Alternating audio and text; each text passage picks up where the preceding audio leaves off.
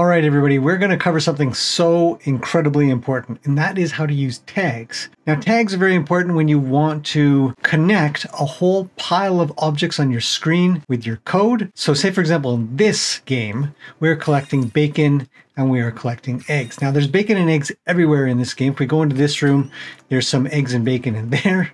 It's a fish egg. I know it's not looking like a real egg, uh, but these are collectible objects, so they have their little glow and we can collect them like that. If you have a ton of these, you're not going to want to set them all up as editables and you're not going to want to set them up inside of the details panel to have an on collected event and it goes to a thing.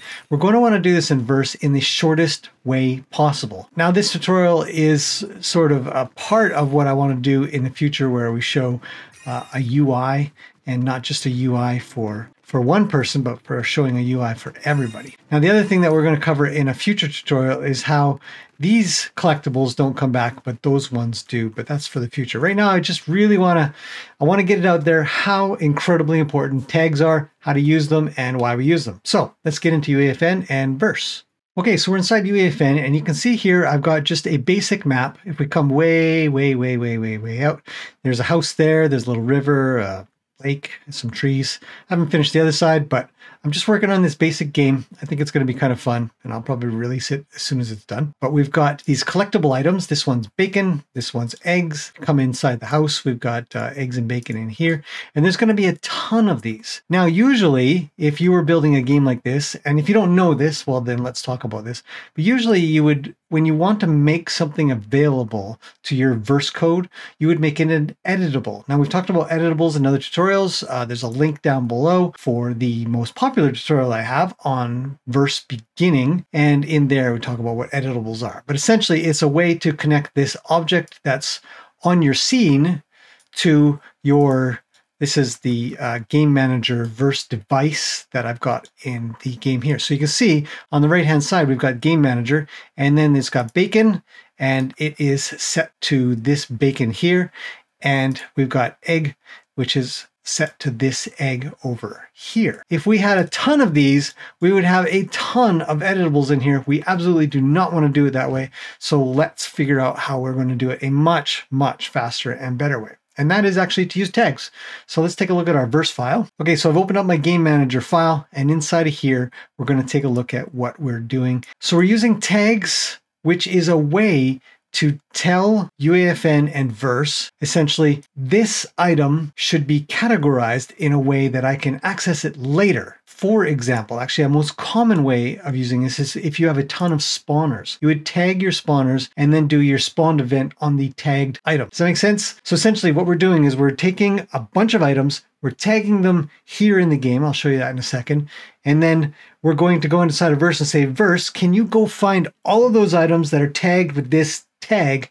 And I'll take that as a jumble and do something with it rather than having editables that would just be an absolute nightmare to organize inside of here. Because you see, we've got two right here. We've got my initial bacon and egg collectible object device, which is just inside of the devices inside of Fortnite. If you go collect a bull, and it's going to be a collectible object. It's a basic device. You can set it to a bunch of things. I set mine to bacon and eggs. You can actually set it to anything you want. You can have your own mesh on it as well, but that's not the point. When we're doing this, we want to tell verse, look, go look for all of the things that I've tagged. Let's tag an item first so you can understand what I'm talking about. So let's take this bacon here because it's not tagged yet. I haven't tagged this. I haven't set it to be a thing. So over in our details panel, you see this green button that says add. Click that and then in the search, because it's not going to show up in this, oh, it does show up in this list. How about that? Because it's recent. I've done this recently, but generally, verse tag markup is not going to show up. So you're going to want to do uh, search in the search components, go TAG, and that's going to give you verse tag markup. So this is what we really want to I can't stress enough how important this feature is. Okay, so we'll just keep it as verse tag markup. That's its name.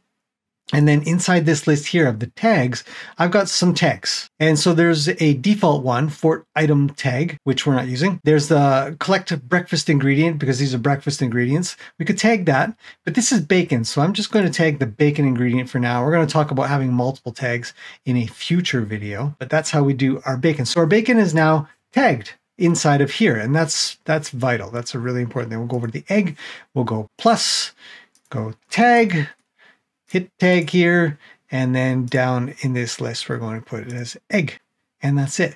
Okay, so once you have your tag markup done, you're going to want to duplicate the object that you have tagged because it's going to save you time rather than bringing on a brand new object and then having to retag it. So before you build your game, you really want to think this out. So we can just select our bacon here, hold the Alt key, and then just drag with the gizmo and it'll make another one and this one here will already ha have its tag on it. So we can see here in the details panel, verse tag markup, it's already a bacon ingredient. So this is much faster than going down to the bottom and, and continuing to bring out a collectible object and then changing it to bacon and then putting the tag onto that. You might as well just duplicate the item that you've already done. So once you've done that, we want to go into the verse file because we need to be able to subscribe to the collected event so that we can add to our score or our item count or whatever we want to do for the item that we are interacting with. So let's do that. All right, so inside of Verse, this is uh, relatively simple, so don't get too worried. We're going to definitely need the using verse.org simulation tags, and then we're going to make our tags. So these are our tags here. I've got three of them. Uh, I've got our collective breakfast ingredient tag, and this is essentially, we're setting this with the colon equals class and tag.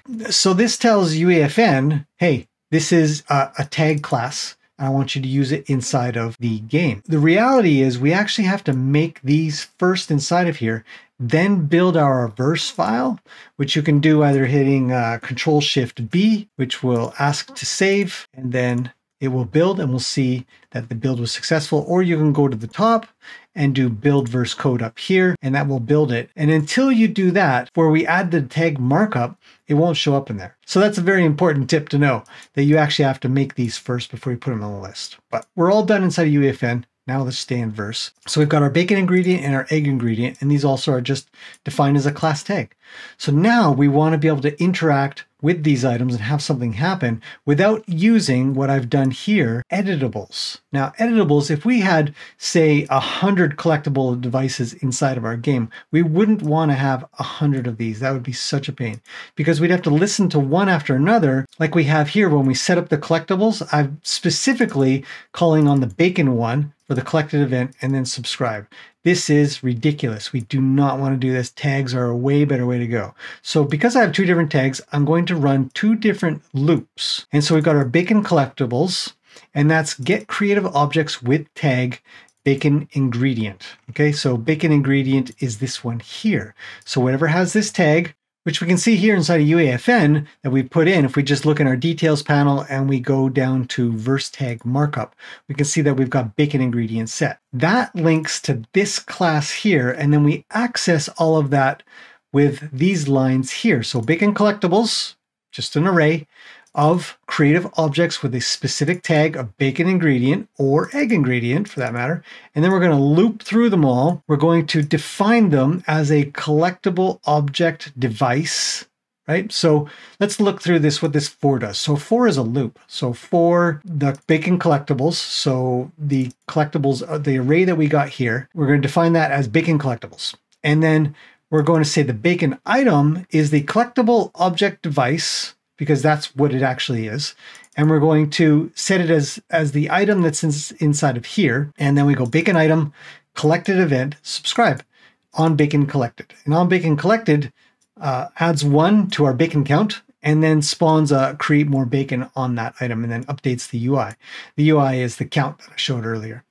So the create more bacon is going to have that creative device respawn a bacon over a period of time uh, which is down here. So it sleeps for three seconds and then bacon respawn for all. Respawn for all is a way to have a collectible object just respawn an item for everybody instead of just the agent that got it. I haven't done the code that allows every item that is in this collection, but we'll do that in a future video. It's not important right now. What we really want to discuss is how to use tags and why they're so important. So with just this line, we have taken away this and these because everything is just tagged inside of the game.